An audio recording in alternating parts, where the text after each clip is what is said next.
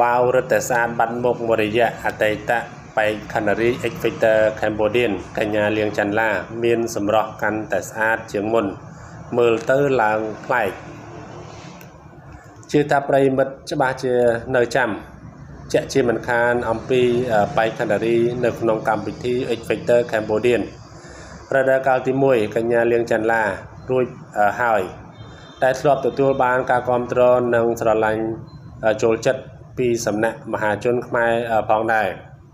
យ៉ាងណាមិញនេះច័ន្ទឡាបានបាត់មុខពីសិល្បៈជាច្រើនឆ្នាំមកហើយដោយមិនសូវចេញមុខ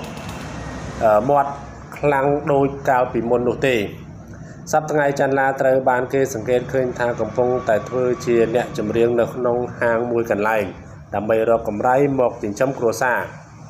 តែឡែកបើយើងក៏លេចទៅមើលពីសម្រស់របស់តារាចម្រៀងរូបនេះវិញក្រោយបាត់ មុខមួយរយៈពីវិស័យសិល្បៈឃើញថាច័ន្ទឡា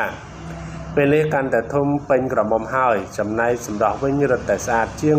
មុនឆ្ងាយណាស់មានសាច់ឈាមស្រស់ថ្លាជាងមុន ហើយសម្លេងរបស់នាង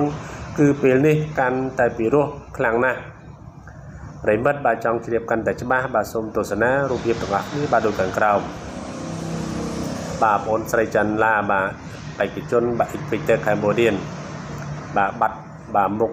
ពីវិស័យសិល្បៈមួយបាទមួយរយៈឥឡូវនេះបងអូនស្រីបាទត្រូវបានគេដឹងថាត្រៀង